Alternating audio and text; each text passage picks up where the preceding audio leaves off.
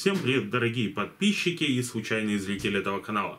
Сегодня у нас на обзоре будет э, предатор от компании Vismac и Клирик Эллабо. Надеюсь, я его правильно назвал. В этом видео я вам уже расскажу свои ощущения от долгого использования данного мода. И если вы хотите посмотреть еще немножко больше информации об этом моде, вы можете посмотреть первый взгляд, э, нажав на буквочку И, которая сейчас всплывет, и перейти туда. Ну, а здесь будет более такой подробный в мелочах, вернее как о мелочах данного мода и нюансах. Давайте переместимся на стол и начнем его рассматривать. Теперь еще разок быстренько комплектацию макулатура. Тут есть инструкция на баг и на мод. Идут они также еще и на русском языке. Предусмотрен предупреждение. Э, два испарителя, один из них установлен в самом клирике. Другой у нас идет запасной. Один на 0,2, другой на 0,25 Ома. И зарядочка USB кабель, э, который поддерживает данный кабель до 2 ампер, как заявляет сам производитель. И, конечно же, сам модик с самим баком. Теперь бегло сделаем несколько замеров. Вес данного мода без аккумуляторов 171, 172 грамма. Хорошо. И добавляем сюда два аккумулятора 262 грамма. Добавляем еще сюда атомайзер, но он немножко заправлен. 329 грамм. По размерам высоту он у нас 87 миллиметров, в ширину 44 миллиметра и в толщину 29 миллиметров. Посадка посадочное место, напоминаю, здесь 25 миллиметров, абсолютно спокойно сюда садится, так как наш данный бак 25 миллиметров, и даже есть еще чуть-чуть места, и можно даже до 26-27 миллиметров. В первом взгляде я ставил сюда даптанк, и как бы он слегка-слегка выпирал, то есть по посадочному месту здесь все очень хорошо. Чуть-чуть давайте поговорим о самом лирике Эллада, или как-то так. Э, здесь э, с тягой, со вкусопередачей у меня никаких проблем не возникало, то есть меня устраивает его вкусопередача как клирик, то есть ничего особенного. Но есть один минус, который меня здесь очень сильно раздражает вот в этом клирике. Это у нас э, заправка. Как она происходит? Обратите внимание, что данный дриптип, он шатается, то есть он не сидит на одном месте, вытянуть его, ну как бы надо приложить усилия, то есть это не, не так просто, то есть, но это сделать можно. Мы его вытянули. Вообще компания Vismac предлагает его полностью извлекать для того, чтобы заправить. И как мы видим, здесь есть стрелочка, в бок отодвинули, и здесь у нас есть отверстие для заправки жижончика. Вот. Но в принципе можно просто данный дриптип, о, сейчас вот, слегка приподнимать его вверх и потом открывать. Но меня раздражает то, что сам данный дриптип э, чуть-чуть болтается. Ну, может, для кого-то это не критично, но мне это жутко не нравится. Но если вас это не смущает, можете брать наборчиком. Только потом будете в Китае или еще где-то у вас в магазинах, докупайте испарители на данный лирик. По самому покрытию данного мода, здесь у меня цвет Silver, и как вы видите, нигде никаких там царапин, еще чего-то такого нету. Я, конечно, его старался носить более-менее аккуратно, но даже при этом обычно появляются какие-то царапины, но здесь их нету и тоже очень хорошо. Как мы видим, даже на верхней площадке, если они даже, может, где-то есть маленькие, то их совсем не видно. Так как мы добрались до верхней площадки, давайте посмотрим сам коннектор. Он вообще уже изменен, он, как видите, такой кругленький. И по ходу компания Vismax здесь обновила сам коннектор. Проблем у меня с ним не возникало, ход у него довольно-таки глубокий, мягкий. Все очень приятно, то есть нет никаких нареканий. Единственное, что коннектор неровно установлен по ходу, потому что данный край чуть-чуть от амайзера, то есть приподнят. Здесь он лежит полностью, прилегает, а здесь есть легкий-легкий просвет.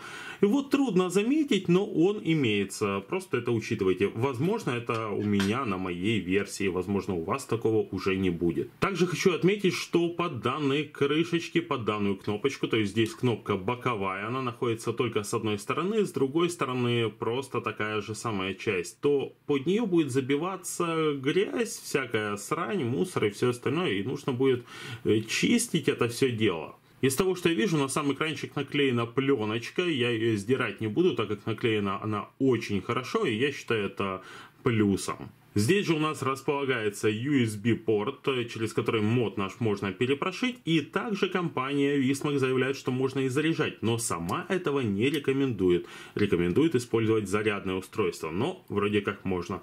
Упоротость тоже присутствует. Ну о самой зарядке мы поговорим уже чуть дальше. Значит, снизу у нас идет аккумуляторный отсек. Как вы видите, за время использования как бы с ним ничего не случилось. Э, тут есть также, как я и говорил в первом взгляде, небольшие бортики металлические, которые не дают елозить по столу самой этой пластиковой крышкой. Тоже очень хорошо, приятно. Вот с открыванием данного отсека, пока там нету аккумулятора, возникают некие проблемы, потому что а, вот, о, вот, вниз опустили, и он выпал. То есть, если здесь установлены аккумуляторы, они его начинают выталкивать, и становится все гораздо легче. Также многие могут сетовать на данный язычок, э, как мы все помним, с кубоидов еще они ломались, и как-то это было не очень приятно. Здесь же я его использую даже неаккуратно, специально закрывал э, аккумуляторный отсек простыми движениями, когда я просто брал таким вот образом и давил на него защелкивайся. Все, он защелкнулся, и вот так я его использовал. Как вы видите, с самой э, язычком, самим язычком ничего не случилось. Тоже все очень хорошо. Напомню, что аккумуляторы с толстой изоляцией, если вы, допустим, будете перепаковывать, у вас сюда не выйдет установить, допустим, э, вот аккумулятор Keep Power, и он сюда, ну, заходит, но вот еле-еле, и вытянуть его будет потом, в принципе, трудновато. Поэтому использовать с толстой изоляцией или, допустим, с такими наклейками, как Keypower это любит делать, не стоит. Или сорвать ту наклеечку. В принципе, больше проблем у меня с аккумуляторным отсеком не возникало. Теперь же давайте поговорим по комбинациям клавиш в данном моде. Если мы в выключенном состоянии, как видите, пятикратным нажатием он выключается, зажмем кнопки плюс и минус, что, кстати, удобно, это можно делать тут одним пальцем и очень легко. Удерживая, мы можем перевернуть экран вверх, ну и может быть кому-то будет удобно. Таким же способом мы переворачиваем его в классическое удобное для нас положение. Если мы зажимаем кнопку вправо и кнопку пуск одновременно, удерживаем все это в выключенном состоянии, держим подольше, подольше, мы переходим в настройку наших пресетов э, под термоконтроль, под разные металлы. Тут уже как вам будет это все угодно. Э, дальше, если мы зажмем кнопку влево и кнопку пуск, удерживаем. Опять же, нужно подольше подержать. Держим, мы можем э, видеть заряд наших обоих аккумуляторов, что тоже, в принципе, приятно. Если мы уже, допустим, включаем наш мод, мы нажимаем 5 раз на кнопку пуск, то есть 5 раз его быстро сдавливаем, но если мы будем продолжать это все дальше после включения самого мода, продолжаем вот есть. Загорелась версия прошивочки 5.04. На данный момент это самая свежая прошивка, я проверял на сайте. Но узнать, какая у вас, тоже можно. Дальше, если мы во включенном состоянии зажмем кнопки плюс и минус, будем их удерживать, мы можем заблокировать кнопки плюс и минус. Но при этом кнопка пуск у нас будет работать, то есть она будет подавать напряжение на ваш атомайзер. Таким же способом мы снимаем блокировку. Если же мы зажмем кнопку вправо и кнопку пуск, удерживаем их, держим. Здесь мы переходим в менюшку. Здесь мы можем включить или выключить наше лого. Э, как вы видите, потом мы можем перейти в настройку прихита. Здесь мы выставляем мощность, на которую он будет разогревать при нажатии кнопки пуск. Когда вы вот первый раз нажали, и держите. Вот он на такое-то время подаст э, вам ту мощность, которую вы выставите. Сейчас мы перейдем. И вот э, мы можем повышать или понижать нашу мощность кнопкой пуск мы переходим и выбираем время, насколько же оно будет э, нагревать на ту мощность, которую мы выставим, до 2 секунд, от 0,1 секунды или в off режим, ну, допустим, выставим 0,8 секунды. И также у нас есть еще, мы дальше можем посмотреть в этой же менюшке, включить режим прошивки, он как-то так быстро выходит из этого меню, но это сделать можно. Если мы зажмем кнопку влево и кнопку пуск, будем их удерживать, держим, мы можем включить стелс режим, а, то есть в этом режиме а когда мы нажимаем кнопку пуск, но тут должен стоять атомайзер, экранчик у нас не будет загораться, он будет загораться только тогда, когда вы будете нажимать плюс или минус. Таким же самым образом мы можем выключить стелс режим.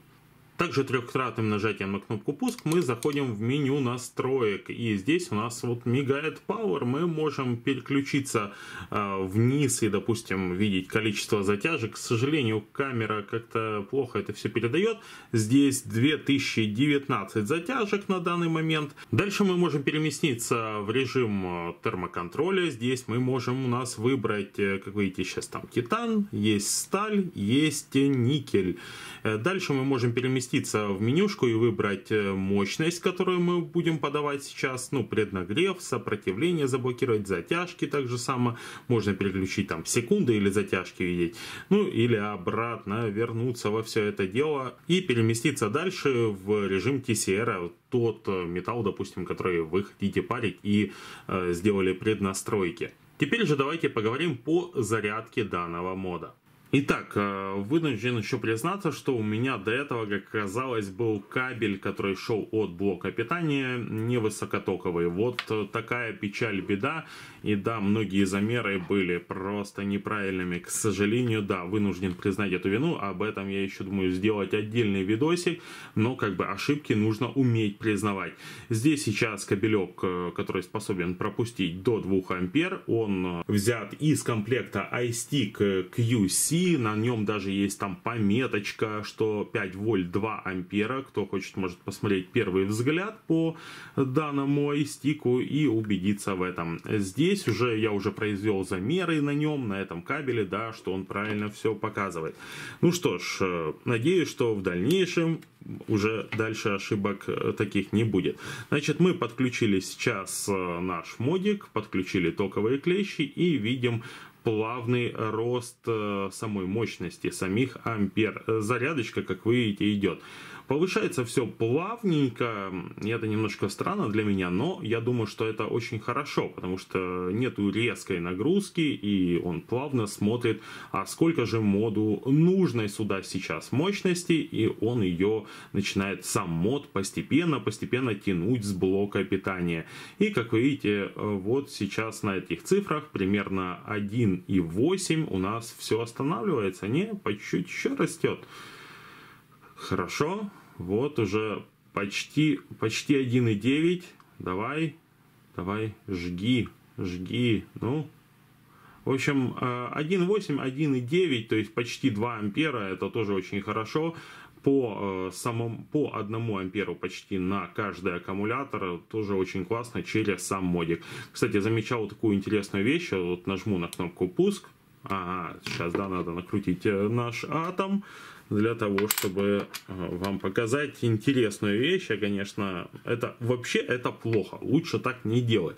То есть это так называемый режим типа постру. Э, постру. Видите, начинает сразу же резко скакать э, сами амперы, которые подаются сейчас на сам наш модик раз, поднялись и упали обратно вниз, и потом по чуть-чуть восстанавливаются. Вот такая вот ситуация. Дальше уже более подробно расскажу в отдельном видосике, что, почему и как, что изменилось. Но данные уже показания правильные, мы все уже это проверили методом сравнения, тыков и всего остального. Итак, э, мой дорогой подписчик, э, что бы ты хотел, конечно, узнать? Главный вопрос, а стоит ли его покупать или нет? Э, бла-бла, скажи нам, ответь на этот глобальнейший вопрос. Я не смогу вам ответить на этот вопрос, стоит ли лично вам покупать. Я могу сейчас описать свои ощущения э, от использования данного мода, и вы уже сами можете примерно понять, а нужно ли вам вот такое или нет. Сразу начнем с разряда аккумуляторов в данном моде. Здесь он их разряжает в 3,3, если они у вас сбалансированы, там 3 33, 3,36, вот э, в таких пределах, то есть вполне нормально, работоспособность у данного мода отличная. Дальше, э, зарядка через сам мод. Сама компания э, Vismac на своем сайте пишет, что можно заряжать, но там же она еще и пишет, что желательно заряжать в отдельном э, зарядном устройстве. Вот как-то так. То есть, ну, в принципе, за зарядку в двухамперную там почти, вот чуть-чуть не хватает. Может, это погрешности и все остальное. Тут реальных 2 ампера.